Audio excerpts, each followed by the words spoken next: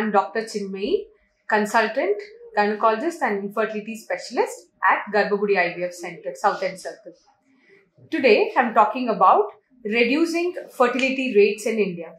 So, in the last few years in our practice, we've seen that a lot of women are presenting with us, presenting to us with reduced uh, with infertility, where the population of infertility has increased drastically, especially in the last few decades and uh, we are seeing uh, especially uh, women coming with uh, reduced ovarian reserve meaning the age of the ovary is aging at a faster rate so they're coming with a reduced ovarian reserve at a very young age their ovary is aging at a faster rate compared to their normal chronological age so there are various factors why we are seeing an increase in infertility population these days. And to add on to this, which is an eye opener, uh, which we need to know, there is a survey which is conducted by uh, the government of India, which is called the National Health Survey.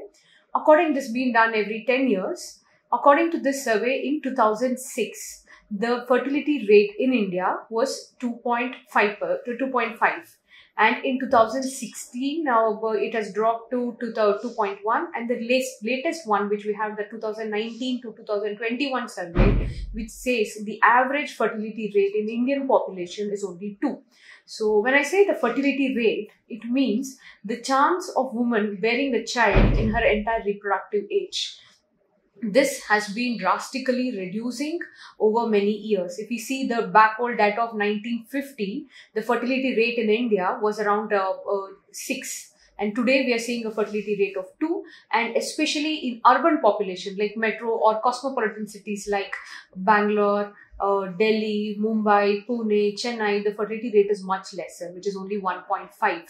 And of course, in certain states of India, like uh, we see uh, in case of uh, uh, the eastern part of India, the eastern states and uh, Goa or certain union territories, they have even much lesser of less than 1.5. But when we compare our urban population versus the rural population, they have a better fertility compared to the urban cities, where it is around 2. So therefore, uh, it is something which is more alarming for all of us to know that the fertility rate, especially in urban population, is dropping down drastically. So if you see what could be the possible reasons why it is happening, uh, are various an array of reasons that we need to know. One is because of increased uh, education, being more career orientation. So there is delay in age of marriage. If you see back then, people used to get married at a younger age group, plan pregnancy earlier. So the problems were not being uh, showed at a uh, at a younger age group. Now that there is delay in the marriage age itself. So what happens when there is delay in the marriage age? The woman when she starts planning her pregnancy itself will be in the in her uh, early thirties or in late 20s. So what happens in Indian women, the aging of the ovary is much faster compared to the Western population. So in uh, our, uh, the especially the Asian population, the ovaries age six years faster when compared to the Western. So we need to be more cautious. So because of this increased uh, uh age of marriage, use of more increase in contraceptive usage, then there is increase in changes in the lifestyle which we mainly see in the urban area. That is why the uh, fertility rate is less where uh, there is more of sedentary lifestyle because of which there is increase in obesity. And uh, obesity related issues definitely it can lead to other uh, problems like development of diabetes hypertension which in turn has a significant effect on the reproductive health.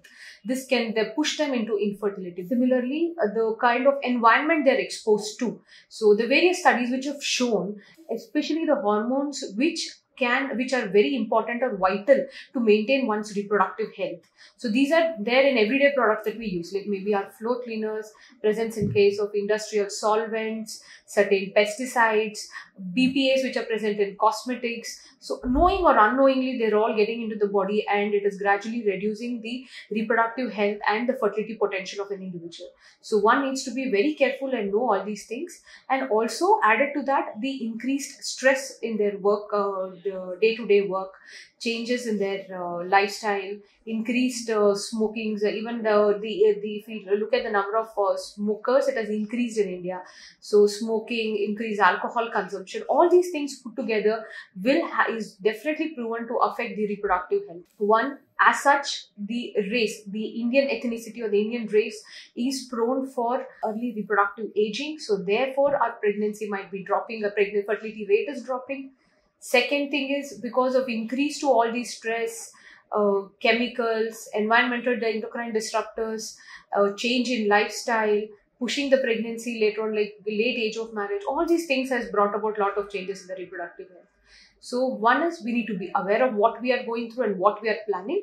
Second thing is how do we overcome this? How do we know that are we uh, ready for when we are ready for pregnancy? Can uh, are we the right? Uh, when is the right time to plan? So whenever a couple gets married, it is always better to take a consultation. Know what is a woman's uh, reproductive potential, whether she has any added uh, problems. Second thing, in case of males, if there is any abnormality, say there's reduction in sperm count or uh, reduction in the sperm motility, all this can be treated. And bringing about certain changes in their lifestyles and uh, but, uh, taking uh, regular uh, reducing the stress during their work the indulging in uh, de-stressing activities like sports yoga all these things. And most importantly being aware of what is happening to our own body.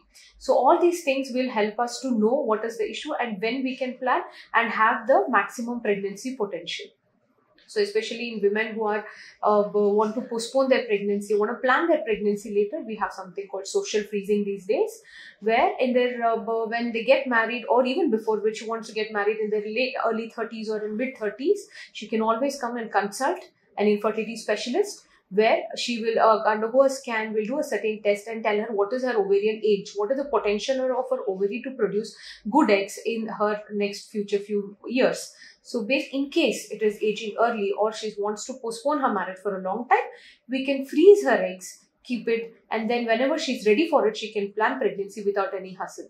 So, there are definitely various options available. One, we need to be aware that there is a decreasing trend in fertility in India, especially, especially the Asian and Indian population compared to the Western population. And of course, the only way prevention is better than cure. So we better identify where is the problem when is the problem try to correct it uh, uh, try to get the best solution out of it before the problem goes out of hand. So i uh, it, so one has to get themselves evaluated uh, uh, when uh, they get married or they want to postpone or for various reasons and know which is the right time to plan for pregnancy. By this they can have the uh, maximum pregnancy potential without going through all the infertility stress. Uh, thank you. I hope uh, uh, you've got a lot of information from this and what we're facing today. And if you've liked this, uh, you can like this page and uh, share it and subscribe to our channel to know more information about infertility. Thank you.